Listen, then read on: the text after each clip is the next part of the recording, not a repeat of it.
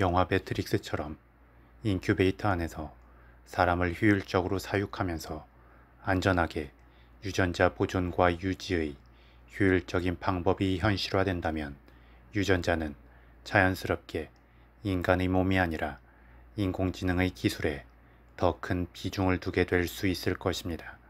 그리고 유전자는 본능적으로 인간이 인공지능에 대한 의존도를 높이는 선택을 스스로 하게 할 것입니다.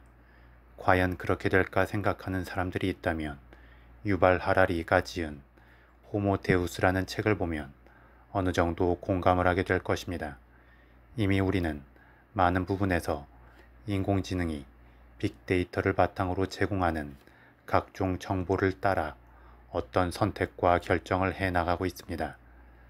아침에 일기예보를 보고 자신에게 맞는 코디의 옷을 선택하고 업무 지시를 받고 자신에게 맞는 연애 상대를 추천받으며 자신의 몸 상태에 최적화된 건강 식단을 제공받습니다. 이처럼 인류가 인공지능의 노예가 되고 있는 상황은 벌써 조금씩 시작되고 있고 생각지도 못한 순간에 급격히 가속화될 것입니다. 결국 인류의 근본적 주인인 유전자는 좀 더 효율적으로 자신들을 보존하고 유지할 수 있는 선택을 우리에게 지시했고 우리는 이미 그것을 따르고 있는 것입니다. 그렇다면 우리가 주도적으로 유전자의 지식을 벗어날 수 있는 행동들은 없는 것일까요? 유전자의 보존과 유지를 근본적으로 끊기 위해 성관계를 할 때 피임을 하거나 스스로 생명의 유지를 단절시키는 자살을 하는 것 등을 말하는 사람이 있습니다. 물론 이는 한 개인의 차원에서 본다면 유전자에 반항하여 어떤 주도적 선택을 한 것처럼 보이기도 하고 확실히 자신의 유전자가 다음 세대로 넘어가는 것을 막을 수는 있습니다. 더불어 독신주의자가 되어 평생을 홀로 살다가 죽는 것도 유전자의 보존을 단절시킬 수 있는 비슷한 효과를 냅니다. 하지만 비인법의 발견은 인류가 좀 더 효율적으로 생존하는 것에 지대한 공헌을 했습니다. 예를 들어 제대로 된 피임을 하기 힘든 국가의 사람들은 과도한 출산으로 삶의 질이 떨어지지만 적절히 필요에 따라 피임을 할 수 있는 국가의 사람들은 훨씬 쾌적한 환경에서 살고 있습니다. 그렇다고 비임법의 발견으로 인류 전체가 완전히 출산을 포기한 것을 의미하지도 않습니다. 또한 비임과 독신주의자의 증가로 인하여 선진국의 출산율은 저하됐지만 전 지구적으로는 여전히 인구가 증가하고 있습니다. 게다가 출산율이 저하된 국가는 적극적 이민 정책으로 타 국가의 사람들을 받아들임으로써 멀리 떨어져 살던 사람들과의 유전자 교합이 조금씩 늘어나고 있습니다. 이는 다양한 유전자 조합의 확보와 함께 생존의 경쟁력이 커지는 효과를 내기 때문에 일부 선진국들의 출생률 저하가 인류 전체의 유전자 보존과 유지에 있어 근간을 흔들지는 않습니다. 오히려 유전적 형질의 다양성을 늘리면서 긍정적 효과까지 주고 있다고 할 수도 있습니다. 자살도 마찬가지입니다. 자살률은 저소득 국가보다 고소득 국가에서 그 비율이 더 높습니다. 그런데 고소득 국가의 사람들의 삶의 질이 더 쾌적합니다. 이는 한편으로 일부의 자살로 인한 유전자의 유지가 일부 단절되기는 하지만 다른 대다수에서는 더욱 안전하게 유전자가 보존되고 유지될 수 있도록 하기에 이 또한 유전자가 본능적으로 그러한 쾌적한 삶의 질을 선택한 것이라 할 수도 있습니다. 그리고 유전자의 관점에서는 그러한 쾌적한 삶 속에서 자살을 택하는 것은 어차피 스스로 진화에 적응하지 못하여 자연 도태되는 것이라 여길 수도 있습니다. 게다가 자살에 이르는 심리적 문제를 줄이거나 치유하기 위한 약의 성능은 갈수록 좋아지고 있습니다. 즉, 유전자가 일부의 자연 도태보다 다수의 유전자 보존을 택하기는 하지만 시간의 흐름 속에서 일부의 자연 도태마저도 막기 위한 노력을 계속한다는 것입니다.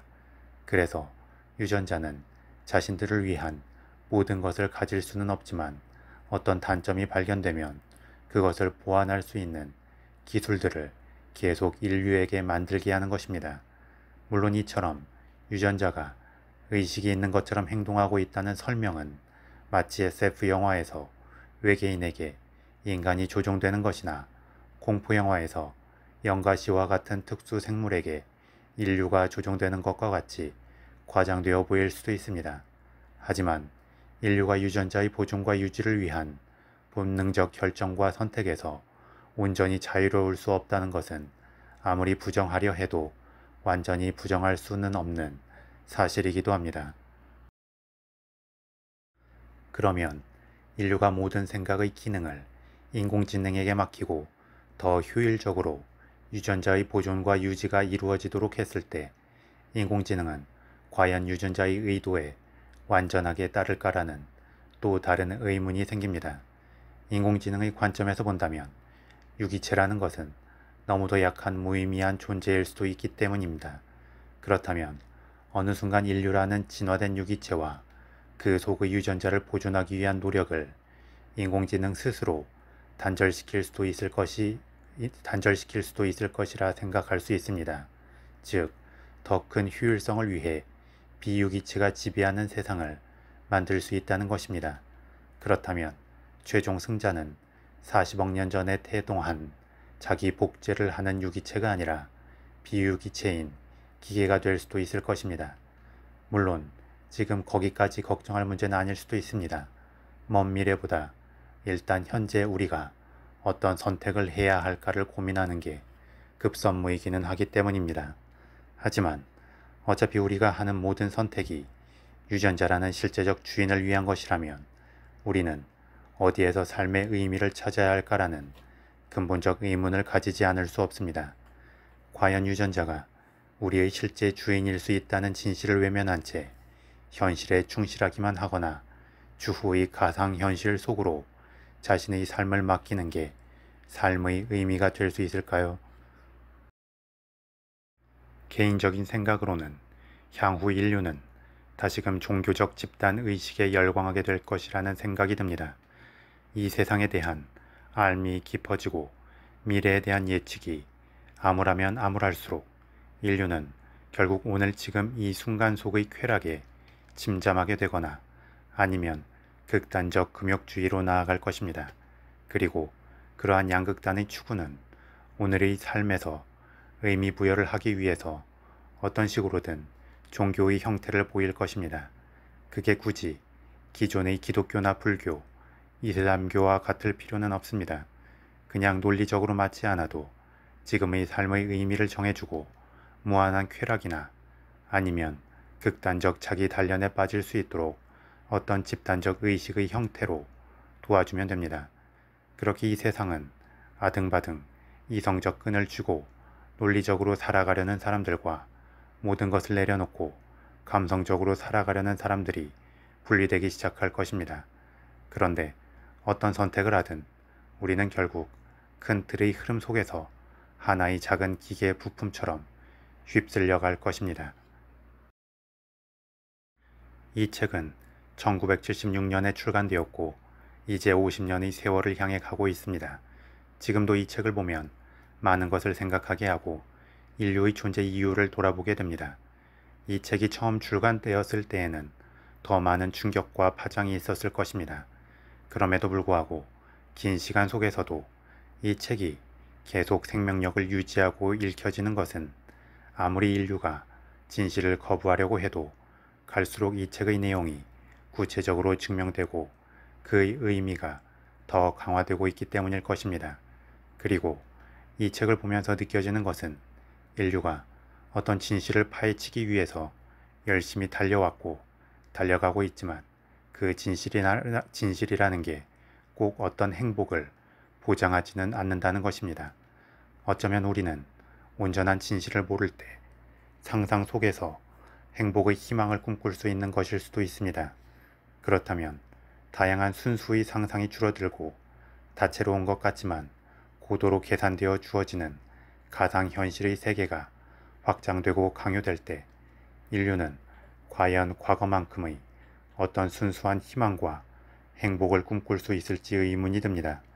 나아가 과연 그러한 희망적이고 행복한 상상 자체가 필요하기나 한 걸까도 의문입니다. 그래서 개인적인 소견으로는 상당히 비루하고 패배주의적인 처방일 수도 있지만 그 어느 때보다도 순간순간의 가벼운 농담과 소소한 유머가 필요한 시점이라 생각합니다. 웃음의 순간은 현실의 무거움을 잊게 만들기도 하지만 현실을 긍정하게 하고 다음으로 나아가게 만드는 징검다리 역할을 하기 때문입니다.